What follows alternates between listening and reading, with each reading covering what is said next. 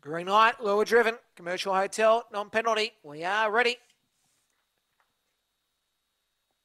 Racing Magic Nancy got out well. Speed from the middle, and St. Tommy goes to the lead. And now on the outside, just Paddy moves forward. It got bumped a bit as going to the lead is St. Tommy down the back from Magic Nancy. In third spot is Blue Phoenix from Cornborn Gia.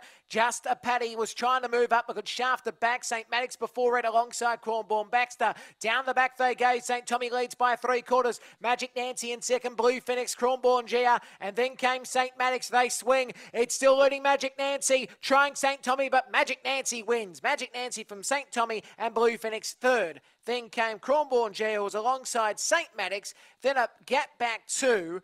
Cronborn Baxter just Paddy. Time will be 29 and 9. Has done well to win the prize to one Magic Nancy. One has won, one on top. Magic Nancy trained by Dean Fennell, a Bernardo out of St. Matty Black Girl. Second will come up shortly, but the one has got it. 444 first section. And the second 1704. 1704. 2290 around about the time. 2294 officially now. 2994. Second four, St. Tommy, trained by Dean Fennell, Tommy Shelby, Mapunga Pro. Third over the line goes to two in Blue Phoenix, Robert Shark. And hooked on Scotch Miss Bellawood.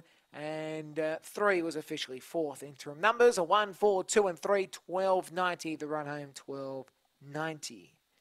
Next race is in 14 minutes. And the favourite is four, Comp the Mini at $3. We're due in 14 for race number 10. And that's supported by the Gambier Vets.